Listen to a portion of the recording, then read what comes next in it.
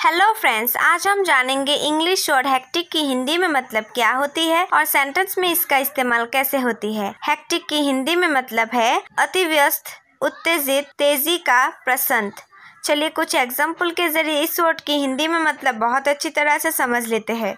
Example modern life is becoming more hectic by the minute इस sentence का हिंदी में मतलब है, आधुनिक जीवन मिनट पर और अधिक व्यस्त होता जा रहा है। चलिए नेक्स्ट एग्जांपल जान लेते हैं। I have found the past few weeks rather hectic इस सेंटेंस का हिंदी में मतलब है, मैंने पिछले कुछ सप्ताहों को काफ़ी व्यस्त पाया है। चलिए नेक्स्ट एग्ज़ाम्पल जान लेते हैं। Thing have been so hair at the office I thought इस सेंटेंस का हिंदी में मतलब है, यहाँ कार्यालयों में चीज़ें इतनी व्यस्त है, मैंने सोचा, चलिए नेक्स्ट एग्ज़ाम्पल जान लेते हैं। Things are getting a bit hectic for me at the moment इस सेंटेंस का हिंदी में मतलब है, चीज़ें इस समय मेरे लिए थोड़ी व्यस्त हो रही है। सो so फ्रेंड्स उम्मीद करती हूँ हेक्टिक की हिंदी में मतलब क्या होती है और सेंटेंस में इसका इस्तेमाल कैसे होती है, वो अच्छी तरह से समझ गए होंगे।